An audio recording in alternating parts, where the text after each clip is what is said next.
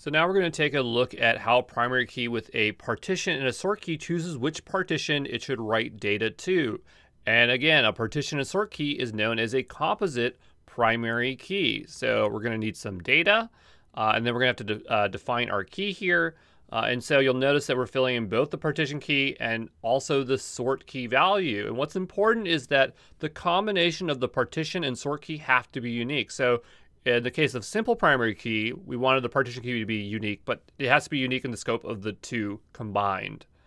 Uh, and then we have our internal hash function, which again is a secret. Nobody knows how it works. I've reached out on Twitter, ask DynamoDB. They won't tell me, uh, which is great for security. Uh, and so what we're going to do is take our primary key and our data, and it's going to get passed to that internal hash function. Uh, this happens when you just write to DynamoDB. You don't have to literally call it. And then it's going to decide to put it in partition C. But this is a little bit different where the composite or the simple primary key had just put it in a random partition. This one is putting it with data that is similar uh, to it. So here we have an alien that is a Romulan, and it's grouping it together with other Romulans uh, there. And it's also sorting that data from A to Z.